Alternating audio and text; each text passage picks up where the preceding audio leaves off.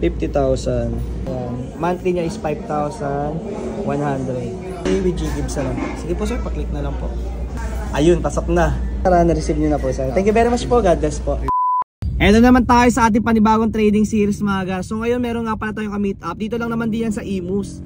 So ang kanyang ipapa-convert is 30,000 G-Gibbs. Pero meron daw siyang 50,000. So try natin kung mapapapayag natin siya sa 50,000. So ayun mga guys, samahan nyo naman kami sa ating panibagong trading series. Hello po, basta po. Bali sa loob na lang po tayo sir. Sige po. So ito pala yung offer ni sir. So ayan, 50,000. Ayan. Sana sir. Gusto nyo po ba i-convert natin to lahat? so sige, try muna natin po kung ah, kaya ni sir yung monthly ng ating 50,000. Ayan, may offer si sir na 50,000. So next natin. Ayan.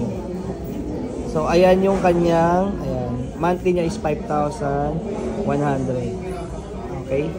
Ayan yung monthly ni sir. Okay? Ayan yung offer ni sir, ayan, 50,000. So ayan, pay na po natin. Ayan. Pwede na view? Apo, yan view. Yan po yung parang breakdown niya po. Okay sir. Okay. Sige po. So gawin natin check tapos pay with G-Gibbs na lang. Sige po sir, pa-click na lang po.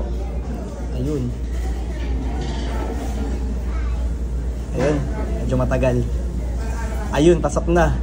Thank you very much sir. Opo, save na lang po. Save na lang po. Pakita na lang. Yan. Okay na.